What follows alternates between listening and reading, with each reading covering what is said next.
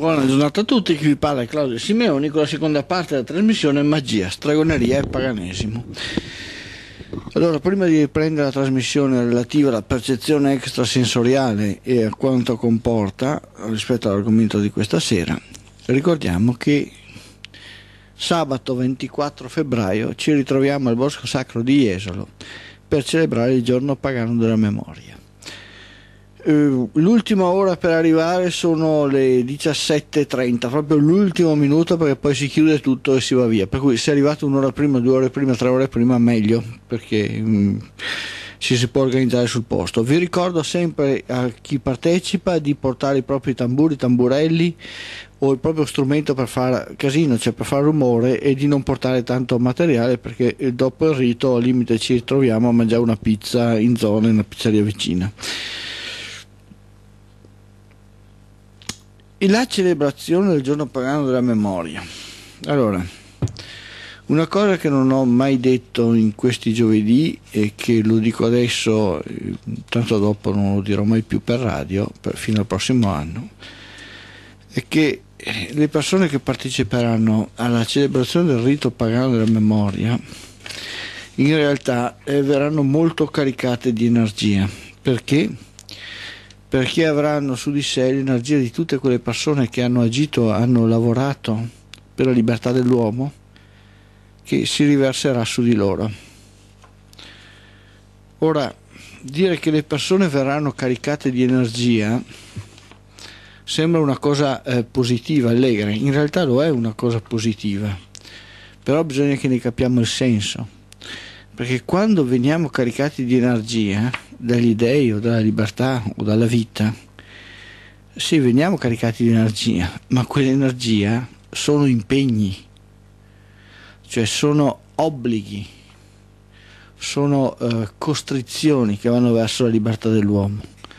Per cui è vero che veniamo caricati di energia, però dobbiamo chiederci, noi siamo disponibili, siamo pronti? per fare quello che possiamo per la libertà dell'uomo, per la nostra personale libertà, per guardare in faccia la vita, per affrontare la vita per ciò che la vita è. Perché quando si riversa su di noi tutto ciò che è stato, eh, c'è un certo peso, c'è un certo obbligo, un certo impegno ed è un impegno molto forte, molto feroce. Perché se voi pensate a tutte quelle persone che sono state massacrate, i cui nomi riempiremo la faccia del pianeta dai cristiani per imporre il loro Dio. E tutto quel dolore, tutta quell'energia, tutta quella ferocia, tutta quella rabbia, tutta quella determinazione per affrontare il futuro o la disperazione del momento che vivevano, è sta tutta attorno a noi. E noi con quel rito la chiamiamo, la evochiamo e quando un pagano politeista o chi pratica stregoneria evoca, significa far proprio, significa costruire una relazione empatica fra tutto ciò che è stato e ciò che noi siamo per ciò che noi faremo. Pertanto, anche se io eh, ho tentato di organizzare il rito in maniera più leggera possibile e in maniera anche più giocosa possibile, cioè lasciando grandissima parte alla parte ludica del rito, quella parte ludica che in realtà anche questo ha la sua importanza dal punto di vista magico e la sua funzione. Al limite ve ne parlerò un po' cosa significa passare in mezzo al fuoco. Però sta di fatto che noi stiamo evocando una storia, stiamo evocando duemila anni di storie per cui provate a rendervi conto cosa significa partecipare a questo rito. rito. Significa mettere sulle proprie spalle duemila anni di storia e guardare al futuro, qualunque esso sia, che tutti noi comunque abbiamo, con duemila anni di storia sulle spalle e noi diciamo questa è la nostra storia. Non so, provate un po' eh, a pensarlo un po' lentamente e a immaginarlo fermando il dialogo interno cosa significa tutto questo. È per questo motivo che io ho detto alle persone se dovete scegliere fra l'uno e l'altro scegliete il rito dell'equinozio di primavera. Il rito pagano della memoria è un rito di impegno non indifferente ed è un rito di impegno spesso fra gli esseri umani, nella vita sociale. Il rito dell'equinozio di primavera è più potente dal punto di vista della vita, dal punto di vista di Giunone, dal punto di vista di Era, ma è meno potente dal punto di vista di Ares e di Quirino. E noi tutto sommato siamo dei Quirini, siamo degli Ares. Siamo germinati da Ilizia e andiamo verso Mors, verso la nostra morte. Siamo figli dell'essere natura. Pertanto è più facile penetrare le emozioni con la natura che non penetrare le emozioni di tutto ciò che è stato nella vita sociale. In ogni caso, il giorno pagano della memoria viene istituito al fine di ricordare tutti coloro che furono massacrati dalle esigenze cristiane di imporre il loro Dio. Viene istituito per ricordare la distruzione delle società civili operate dai cristiani. Viene istituito per ricordare la necessità degli uomini e delle società di uscire dall'orrore dell'ideologia cristiana. Questo giorno vuole rendere onore a chiunque fu travolto dall'onda nera del cristianesimo. Questo giorno vuole rendere onore a tutti coloro che agirono per riportare l'umanità fuori dall'orrore dell'assolutismo cristiano. Vogliamo ricordare gli antichi popoli che furono massacrati dai cristiani e le antiche religioni che furono vilipese, offese, denigrate dall'odio cristiano. Antiche significa fino a ieri, perché sto parlando anche delle civiltà africane sto parlando de, delle civiltà dell'America Latina, sto parlando solo della romana, della greca, eh, della celtica o di quant'altro, eh. sto parlando di tutte queste nazioni. Vogliamo ricordare tutti coloro che aiutarono le società civili ad uscire dall'assolutismo cristiano, coloro che vennero chiamati eretici, coloro che vennero chiamate streghe, coloro che vennero chiamati ribelli, e ringraziarli per aver messo la moneta della loro vita nel calderone della ricchezza umana. Li ricordiamo attraverso il fuoco, il fuoco della conoscenza che ardeva in loro, il fuoco della volontà che ardeva in loro, il fuoco della libertà che ardeva in loro. Ricordiamo questo fuoco antico per farlo ardere ancora attraverso noi, perché i pagani non avranno un futuro se non ricorderanno il passato. E vi ricordo di portare i tamburelli e i tamburi, cioè quelli oppure gli attrezzi musicali per fare casino, per far rumore, perché è importante il giro attorno al fuoco, perché il giro attorno al fuoco è la chiamata del mondo. Vi ricordo che chiamare il mondo è la cosa più importante che ci sia. In questo rito, ripeto come oggi eh, vi ho detto nella prima trasmissione, verranno ehm, recitati due inni e naturalmente il rito è aperto per eh, modificazioni successive che verranno stratificate sopra a questo rito e verranno a renderlo più complesso e più profondo. E dei due riti, uno è il fuoco di Vesta. Vesta è come la terra, al di sotto di entrambe v'è il fuoco perenne la terra e il fuoco simboleggiano infatti la propria dimora. Tu per Vesta non intendere altro che la, fiamma, che la viva fiamma. Vedi che dalla fiamma non è mai nato alcun corpo, ma è il fuoco ad animare il corpo, passione e volontà che dal corpo nascono. Ma è il fuoco che riscalda quel crogiolo di vita che la terra diviene. Quando Giunone, sorella di Vesta, natura imponente, su di essa si stende e ne fa la sua sede, Vesta come la terra, il mio corpo sia questa terra, vesta il fuoco, il mio cuore arda di questo fuoco, che io possa essere il mio focolare, la mia casa, il mio rifugio, giacendo giorno dopo giorno e mantenendola viva e scoppiettante la Vesta che nel mio cuore risiede. Il fuoco di Vesta ardeva a Roma eternamente, adesso bruci nel mio cuore ininterrottamente, là dove nessun Teodosio assassino arrivi mai a spegnerlo finché la mia volontà ne sarà la legna e come Vesta si conservi per i sentieri della vita. E l'altro inno invece è Siamo qui per ricordare ed è siamo qui per ricordare, siamo qui per onorare, siamo qui per fondare. Il fuoco fu spento sui sacri altari dopo che fu spento il fuoco che alimentava il mito e l'emozione abbandonò gli uomini. Tutto divenne forma, tutto divenne parola. L'illusione si impossessò dei sentimenti delle persone, le loro orecchie divennero sorde, gli uomini divennero barbari e gli animali stranieri. Tagete, Numa, Orfeo ed Omero divennero ombre indistinte, mentre terrori infernali uccisero le emozioni dell'uomo. Siamo qui per riaccendere il fuoco, siamo qui per uscire dai terrori, siamo qui per soffiare nuova vita nelle ombre che furono.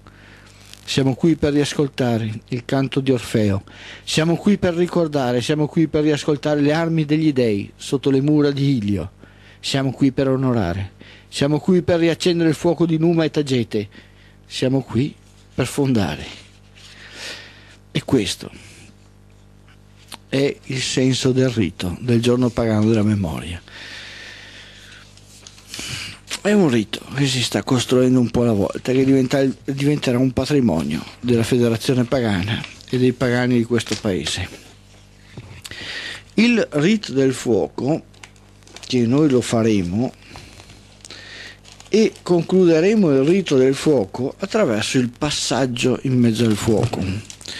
Io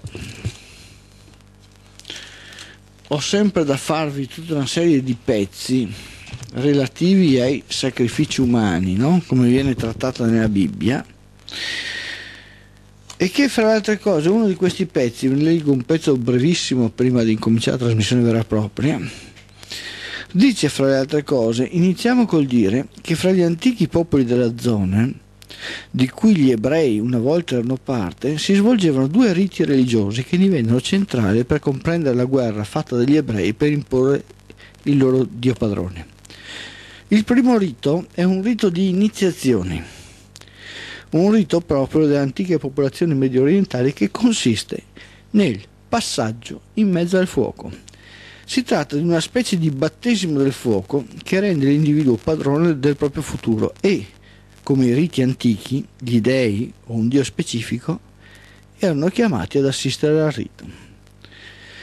Il secondo rito è un rito di purificazione che avveniva mediante il fuoco, un rito di sepoltura specifico per tutti i bambini. Bene, andando avanti, eh, la condanna di Ezechiele del passaggio in mezzo al fuoco è feroce perché Ezechiele deve stuprare i bambini costringendo in ginocchio davanti al suo di assassino. Cioè non può Ezechiele accettare il fatto che il fuoco della vita possa ardere all'interno delle persone. E dice Ezechiele, sto parlando di Ezechiele 20:31, voi vi contaminate secondo i costumi dei vostri padri, vi degradate andando dietro ai loro idoli e con l'offerta di vostri doni, col far passare i vostri figli per il fuoco, vi contaminate per rendervi favorevoli tutti gli idoli vostri fino ad oggi. E io dovrei lasciarmi consultare da voi, o gente di Israele? Ezechiele 20:31. Oppure ancora, il pane che io ti avevo dato, il fior di farina, l'olio e il miele con cui ti nutrivo, lo ponesti dinanzi a quelle statue, il soave odore, dice il Signore Dio. Non solo, ma prendesti i tuoi figli e le tue figlie che mi avevi generato e li sacrificasti a quegli idoli in cibo. Ti parevano poco le tue prostituzioni, immolasti i miei figli facendoli passare per il fuoco in loro onore. C'è tutta la guerra che il macellaio di Sodoma e Gomorra scatena contro le popolazioni vicine, contro le religioni dei suoi stessi padri, perché vi ricordo che Ezechiele costruisce, Ezechiele e gli altri costruiscono la farneticazione del monoteismo a Babilonia. Dopodiché, quando tornano in Israele, quando tornano in Palestina, devono imporla agli altri ebrei che stanno continuando nella loro vecchia religione, la religione dei padri, a seguire Baal, per cui anche a eh, fare il passaggio della gioventù, ehm, cioè la gioventù dei figli, attraverso il passaggio del fuoco. Il passaggio all'interno del fuoco è il passaggio per cui un ragazzo diventa giovane e entra a far parte della società. È un rito di iniziazione, è un rito di sacralità. E Ezechiele fa questa guerra, questo rito di sacralità. Ebbene, noi praticamente col passaggio in mezzo al fuoco abbiamo ripreso il rito di sacralità degli antichi proprio in onore degli dei, che poi abbiamo esteso, diciamo così, a tutte le altre divinità di cui noi abbiamo amore e abbiamo passioni. Bene, allora andiamo avanti con la trasmissione di questa sera. L'appuntamento dunque è per sabato 24 marzo col rito del giorno pagano della eh, 24 febbraio, scusate, col rito del giorno pagano della memoria. E il discorso di questa sera invece che facciamo continua con la percezione extrasensoriale. E nella percezione extrasensoriale trattiamo le basi nervose dell'empatia e l'esperienza mistica. Praticamente cosa succede? Succede che tutti noi abbiamo delle esperienze mistiche. Cos'è un'esperienza mistica? È un trasporto emotivo verso oggetti esterni alla nostra esistenza ripeto, un trasporto emotivo verso oggetti diversi della nostra esistenza, cioè di noi stessi. Ora, qualcuno può indirizzarla verso delle illusioni, tipo il Dio padrone, tipo la Madonna, tipo tutta una serie di cose, ma in realtà queste esperienze mistiche sono sollecitate e intervengono in parti precise del cervello da oggetti materiali esistenti. Cioè noi siamo parte di un insieme e siamo divenuti all'interno di quell'insieme. Che poi la ragione ci separi da quell'insieme, quello è un altro discorso. Ma i nostri geni sono in comune con i geni della mosca della frutta, sono in comune con i scimpanzé, sono in comune con le piante, sono in comune con le formiche. Cioè noi siamo legati al mondo in cui noi viviamo. E col mondo in cui noi viviamo noi abbiamo dei trasporti emotivi, abbiamo delle relazioni empatiche. Ebbene, l'esperienza mistica non è altro che eh, flussi emotivi di relazione empatica col mondo che poi le persone trasformano in visioni, in suoni, cioè attraverso tutto quell'apparato che poi la psichiatria analizza perché da là provengono anche le allucinazioni, provengono anche una serie di cose perché quell'apparato in realtà esiste. Noi possiamo avere l'allucinazione o la visione. L'una e l'altra dipendono dalla disciplina e dall'energia, dal potere che ha una persona. Però il meccanismo è lo stesso. Ora, cosa interessa a me? Interessa sapere questo problema del trasporto emotivo soggettivo e personale, prima di tutto, è reale. Cioè, il mondo che io ho attorno è in grado di pensare, di agire, di emozionarsi al punto tale di coinvolgere le mie emozioni? E qua devo dare la risposta. E però la risposta qui la do attraverso la ricerca tipo Lorenz, tipo la ricerca um, sugli animali, tipo la ricerca sulle piante, sulla sensibilità. E la seconda domanda che devo farmi, io sono in possesso di un apparato mentale, di un apparato nervoso, di un apparato emotivo capace di andare oltre la forma e la quantità che è data dalla mia ragione? Queste sono le due risposte che devo darmi. Primo, se esiste un mondo che mi invia segnali intelligenti, cioè finalizzati, e se esiste dentro di me qualcosa che può percepire quel tipo di segnali o che può essere sensibile a quel tipo di relazioni. Queste sono le due cose che io devo individuare. Dopodiché, una volta che la scienza mi individua queste due cose, Il fatto che io le usi o non le usi, o sia in grado di aumentarne l'uso, questo dipende dalla mia pratica di stregoneria, cioè da quanto io sono in grado di sviluppare ciò che ho dentro di me. Ma io, perché si verifichi la situazione per cui, per cui io posso avere un'esperienza mistica di relazione fra me e il mondo, devo stabilire se esistono queste due condizioni. Dopodiché posso dire, l'esperienza mistica che ho io in relazione col mondo corrisponde ad oggetti reali o diventa semplicemente simbolica perché agli oggetti reali io sostituisco la mia immaginazione. Ma questo è un altro aspetto ancora, cioè in pratica c'è qualcuno che ha un'esperienza mistica e vede la Madonna. Ora, la Madonna non esiste, non è un oggetto in sé, Pertanto l'esperienza mistica è data da altri fattori che il suo condizionamento educazionale trasforma in effetti visivi, cioè in effetti allucinatori, attraverso la visione della Madonna. Però a me non è che interessa sapere gli effetti del condizionamento educazionale o della manipolazione mentale delle persone, quello lo tratto in un'altra parte, lo, lo tratto in un altro ambiente. A me mi interessa stabilire se c'è la possibilità che gli oggetti del mondo inviino segnali emotivi a me e se io posso o la scienza ritiene che sia possibile, anche se magari non l'ho ancora scoperto, però come possibilità, che io possa ricevere quei segnali, trasformarli e avere quelle esperienze mistiche. Queste sono le due cose che mi interessano. Dopodiché eh, torno a ripetere, parliamo di stragoneria, cioè dopodiché parliamo di come usiamo questo tipo di strumenti in relazione col mondo.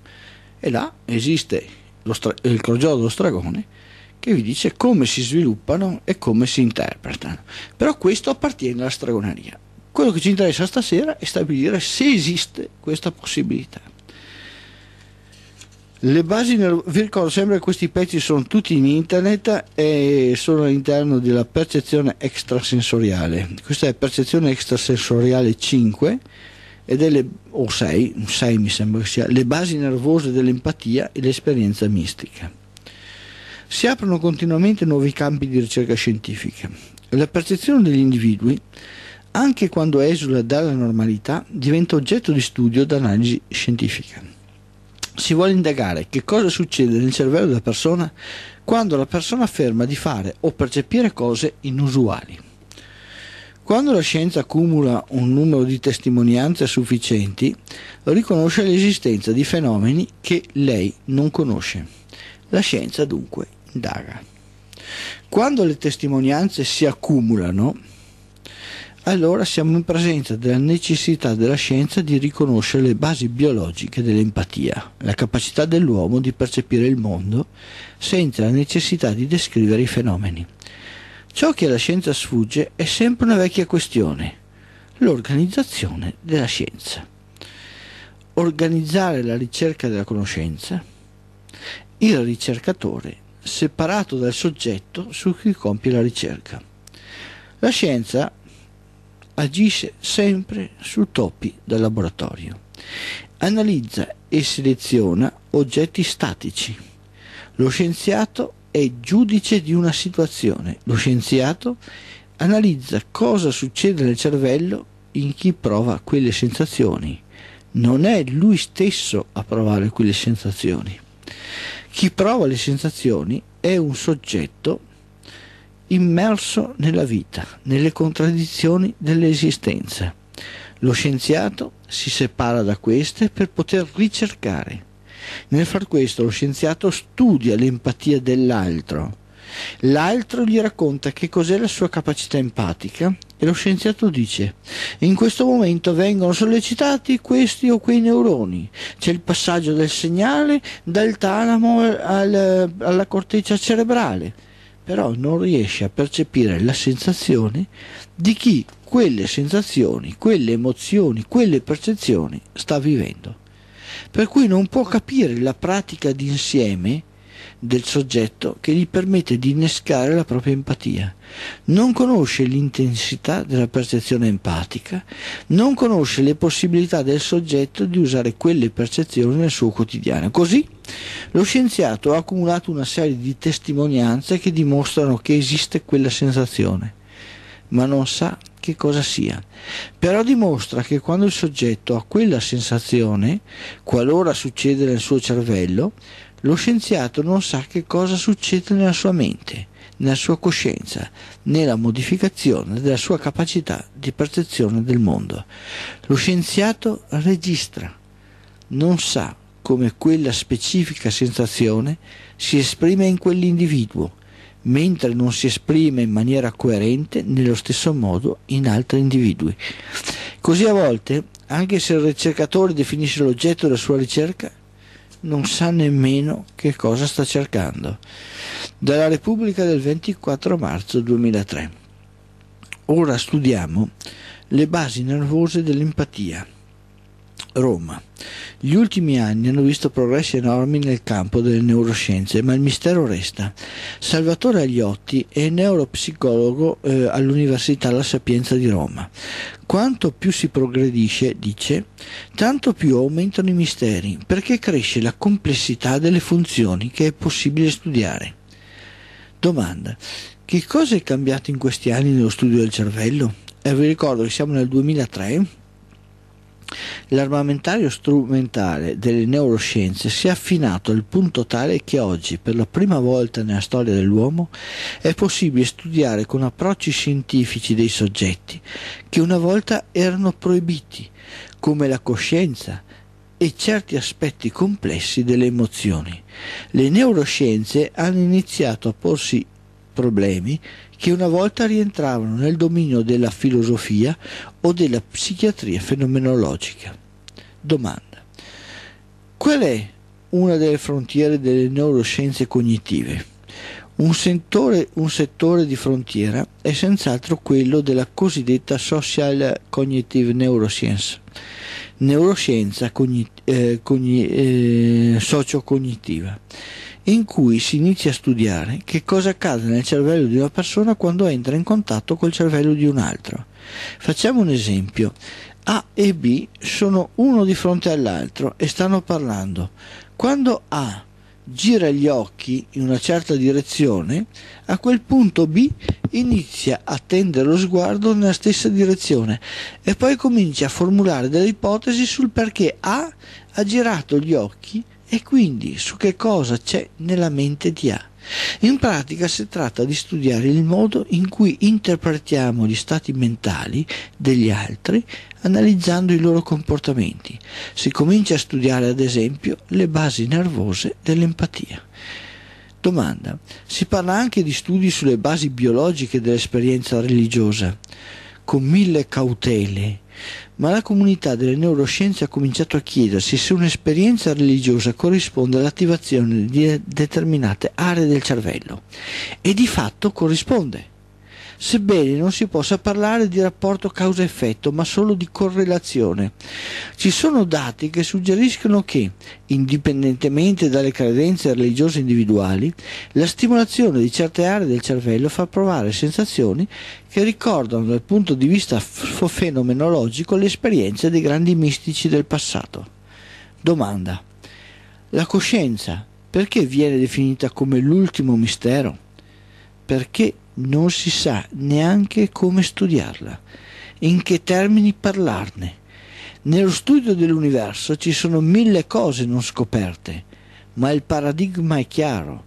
Nel caso della coscienza non si sa nemmeno che cos'è. Dunque, entrare in contatto con il cervello di un altro o un'esperienza religiosa portano ad attivare aree precise del cervello la scienza questo lo può leggere, può leggere l'attivazione dell'area cerebrale quando noi siamo in sintonia con qualcuno. Spostiamo lo sguardo, mettiamo attenzione in cose diverse, sincronizziamo la nostra attenzione o addirittura quando sintonizziamo il nostro corpo e la nostra psiche su quello di un altro o quella degli oggetti del mondo che ci circondano. Quando abbiamo un'esperienza religiosa nella quale entriamo in sintonia con il sacro che ci circonda e che fa vibrare il sacro dentro di noi, il ricercatore vede attivarsi delle connessioni cerebrali. Questo fiume di emozioni che fuoriesce dai nostri sentimenti e avvolge il mondo circostante è un atto di magia. Un atto di magia che si fissa nell'individuo trasformandone il modo attraverso il quale guardare e rapportarsi con il mondo. La scienza dice di poter capire che ad un'esperienza religiosa corrisponde l'attivazione di aree precise del cervello, ma la scienza afferma anche che se si attivano quelle stesse aree del cervello non si ha quell'analoga esperienza religiosa. Ciò tuttavia si produce qualche cosa nell'individuo, un'altra esperienza. C'è una correlazione fra l'attivazione dell'area cerebrale e l'esperienza mistica o l'esperienza di sincronicità col mondo, ma, dice la scienza, è necessaria l'esperienza mistica o la sincronicità col mondo perché questa si fissi nell'individuo. Non basta attivare la medesima area cerebrale per ottenere il medesimo effetto. Dice la scienza, ci sono dati che suggeriscono che, indipendentemente dalle credenze religiose individuali, la stimolazione di certe aree del cervello fa provare sensazioni che ricordano, dal punto di vista fenomenologico, le esperienze di grandi mistici del passato. Fa provare sensazioni che ricordano ma se l'individuo prova l'esperienza dei mistici, certamente attiva quell'area cerebrale, solo che, in più, fagocita quell'esperienza che egli stesso ha cercato, coltivato, imposto attraverso la sua azione. Se si attiva l'area, si ha la sensazione, ma se si ha l'esperienza, questa si fissa in noi, attivando l'area attraverso le nostre sensazioni ed è la differenza fra l'uomo religioso e colui che ha avuto mille allucinazioni. L'uomo religioso ha fagocitato la propria esperienza nella relazione fra sé e il mondo circostante. Ha trasformato questa esperienza in conoscenza da trasmettere. Chi prova allucinazioni trasmetterà soltanto le sensazioni allucinatorie che ha provato. Eppure, probabilmente, entrambi hanno attivato la stessa area cerebrale. Bene, questo è ciò che ci dice il laboratorio scientifico. Ma esistono altre cose che ci vengono dette. Proviamo a vedersi un attimo. Dalla Repubblica del 9 marzo 2006. Siena, un laboratorio studierà il linguaggio verdi, I ricercatori lo fanno, eh, i ricercatori lo fanno per sopravvivere, scopriremo un mondo inesplorato. Piante, le radici sono intelligenti, ragionano, si difendono, comunicano, caccia ai segreti degli alberi. Cioè in pratica si sta scoprendo che non solo gli esseri umani hanno empatia ed emozioni, ma anche le piante hanno empatia e emozioni. A parte il vecchissimo libro La vita segreta delle piante, che io devo aver letto circa un 20 anni fa, ma ormai sempre di più gli scienziati si stanno accorgendo che esistono delle capacità di adattamento soggettivo alle variabili oggettive da parte delle piante che è un qualcosa di spaventoso. Cioè, quella storia che ha riportato Celli nel suo libro, no? Eh, la storia delle acace, spero di non sbagliare, albero e delle antilopi. Praticamente il discorso, è, penso di averlo già fatto in questa radio, no? in Sudafrica c'era una specie di antilopi che stavano per scomparire, no? e allora per proteggerle dai predatori si è deciso di fare un recinto in cui le antilopi potessero stare dentro e siccome in, gli antilopi si nutrono di foglie di acace essendoci molte piante di acace là dentro, pensavano che tutto fosse a posto. Eh, dopo qualche mese eh, le antilopi sono morte tutte. E, mh, mm, allora è stata fatta un'analisi, è stata fatta un'inchiesta perché queste antilopi sono morte eh, pur avendo tante acace a disposizione e nello stomaco si è trovato che effettivamente avevano mangiato foglie di acacia con un piccolo problema le acacie hanno, capaci- hanno, scoperto che hanno la capacità di comunicare. Cosa vuol dire? Vuol dire che quando le antilopi si avvicinavano a una pianta di acace, e mangiavano quelle foglie, però quella stessa pianta mandava alle altre acace l'allarme, cioè l'avviso che c'erano antilopi in giro che stavano mangiando le foglie. Le altre piante di acace a quel punto cominciavano a produrre grandi quantità di tannino che entrava in circolazione nelle foglie. Le quantità di eh, tannino presenti nelle foglie rendevano le foglie di acacia indigeribili per le antilopi. Ora, se non ci fosse stato il recinto, le antilopi avrebbero potuto galoppare abbastanza distante per raggiungere le piante d'acacia che non avevano sviluppato il tannino ancora. Mentre, essendo richiuse in recinto, il segnale, la comunicazione delle piante di acacia di essere aggredite dalle antilopi aveva fatto il giro di tutte le piante del recinto, per cui tutte le piante del recinto avevano provveduto a riempire le loro foglie di grandi quantità di tannino. Risultato, le foglie di tannino, eh, le foglie di acacia piene di tannino erano indigeribili, tutte le antilopi sono morte di fame con lo stomaco pieno di foglie di acacia. Pertanto eh, stiamo attenti a pensare che le piante non discutono o non trasmettano o non comunicano, perché se sono in grado di comunicare un segnale come questo, vi ricordo che possono comunicare anche un pensiero astratto perché a noi non ce ne frega niente del pensiero astratto, ci interessa di più la meccanica delle antilopi morte di fame. Però come si può comunicare questo? Si possono comunicare anche pensieri astratti. Dopodiché noi faremo finta anche di non vederli, però le nostre emozioni arrivano, e arrivano come segnale. E dopo noi quel segnale che eh, percepiamo in, eh, nello stato profondo del nostro cervello, delle nostre emozioni, lo trasformiamo in immagini lo trasformiamo in sensazioni che arrivano alla coscienza, sotto forma di immagini, di suono, di credevo, di intuizione. Oppure anche gli animali si divertono, così il piacere contagia tutti. Vi ho già parlato del principio del piacere, no? Il principio del piacere che è l'elemento fondamentale della vita.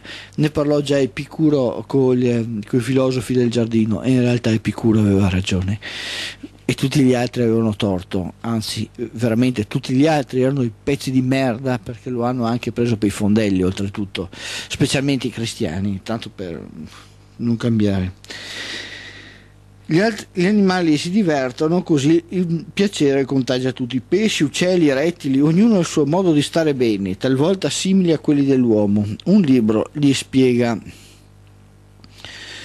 eh, qui ce n'ho vari lemuri, uccelli, scimpanzé, gatti, iguana. A parte il fatto che chi non ha mai giocato col proprio gatto, chi ha un gatto, insomma, sa benissimo quanto si diverte il gatto a giocare, no?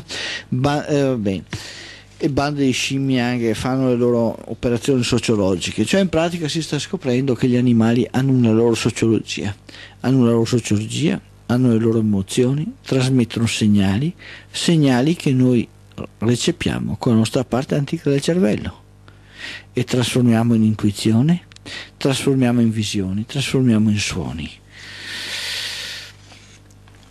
Anche gli insetti nel loro piccolo si divertono.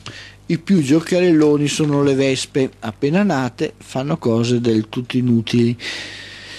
E sai, e si sta scoprendo che tutto un mondo è paese, diceva qualcuno, no? parlando degli uomini e perché non usiamo lo stesso, lo, la stessa affermazione parlando di tutte le specie animali, dicendo che tutto un mondo è paese, cioè tutti cercano il piacere della vita. Sì, qualcuno noi lo possiamo osservare, diciamo, fa cose inutili, qualcun altro invece lo osserviamo, diciamo, fa delle cose che capiamo perché le fa. No? Mm, per, per una vita abbiamo visto gli scarabei stercorari a fare pallottole di cacca no? e spostarli. Per gli egiziani erano sacri e avevano ragione gli egiziani, però non abbiamo mai capito quanto ci si diverte a mettere il suo, a mettere il suo uovo dentro la pallina di cacca e far nascere altri figli lo scarabeo stercoraro. Se non siamo in grado di vedere il divertimento degli altri, se non li guardiamo con le nostre emozioni e con nost- la nostra parte ludica che abbiamo dentro. Oppure adesso anche gli animali hanno un'anima. Per un italiano su due sono come l'uomo, secondo una ricerca il più simile è il cane. Cioè un italiano su due pensa che gli animali hanno un'anima. Ora io ho una, l'articolo dei gesuiti di un 12 anni fa circa, in cui eh, si tuonavano contro chi pensava che gli animali avessero un'anima. In realtà adesso le persone lo pensano, ma perché lo pensano? Cosa è cambiato? Non è cambiato assolutamente niente, semplicemente un numero maggiore di persone ha imparato a osservare con più attenzione il mondo che gli sta attorno e ha imparato ad osservare che piante, animali, eh, insetti hanno delle vere e proprie strategie di esistenza hanno delle passioni di vita. In pratica è come se gli uomini avessero cominciato a guardare il mondo che li circonda con occhi leggermente diversi da come era prima. E così scoprono che in fondo tutti hanno un'anima, un'anima, che poi non è altro che la nostra parte emotiva, non è altro che la nostra parte sacra non è altro il, che il Dio che costruiamo dentro di noi, sia che siamo uomini, elefanti, tartarughe, vespe, scorpioni, lombrichi, vermi, eh, virus, batteri. Sulle nostre mani ci sono centinaia di specie di batteri sulla nostra pelle. Senza di loro non viviamo. Noi stessi siamo una colonia di batteri mo- modificati e ci pensiamo grandi personaggi al centro del mondo, creati ad immagine e somiglianza di un Dio pazzo e cretino. Ebbene, ognuna delle nostre cellule ha un'intelligenza, ognuna delle nostre cellule comunica, ognuna delle nostre cellule vive per sé e in sé. Cioè, ma noi siamo creati ad immagine e somiglianza di un Dio pazzo, cretino e deficiente. Vabbè, cosa volete che vi dica? Alla pazzia non c'è, non c'è rimedio Comunque l'importante è che noi sappiamo che tutto il mondo che noi abbiamo attorno è un mondo vivente. Quando dai microfoni di questa radio, no? eravamo nel 1997 98, adesso non mi ricordo esattamente l'anno, vi ho fatto il testo Il crogiolo dello stregone nei quattro canti del mondo. Uno dei capitoli fondamentali del crogiolo dello stregone nei quattro canti del mondo, lo potete scaricare in internet, sono i quattro canti del mondo. Cioè il fondamento della stregoneria eh, si regge sui quattro canti del mondo. Che cosa sono i quattro canti del mondo? In pratica, se io vedo il mondo come forma e come quantità, anche un cane, un albero, un virus vede il mondo come forma e come quantità. Se io ho una struttura emotiva, anche il cane, il virus e il batterio ha una struttura emotiva. E allora i quattro canti del mondo non sono altro che l'interazione fra la visione che c'è del mondo, noi stessi, con gli oggetti del mondo, attraverso le nostre specifiche ragioni, attraverso le nostre specifiche emozioni e attraverso l'intersezione di ragioni e di emozioni. E questo è un discorso che vi ho fatto ancora nel 1998. Pertanto, quando il mondo parla a noi, nella selezione della percezione ve l'ho fatto questo, non tutti i fenomeni rientrano nella nostra coscienza, molti sono a livello di subconscio ed entrano però nella nostra capacità emotiva, nella nostra capacità di percepire il mondo. E allora parliamo spesso si parla di istinto, si parla di, mm, di subconsciente, si parla di eh, memorie ataviche, si parla di robe strane, ma in realtà è un altro modo di percepire il mondo che se noi abbiamo abbastanza disciplina riusciamo a farlo emergere alla coscienza. E questo di questo la scienza comincia a prenderne atto. D'altronde la stregoneria è una cosa reale, non è una cosa fittizia, non è al di fuori della vita, non è il Dio dei cristiani che è il Dio trascendentale fuori del mondo.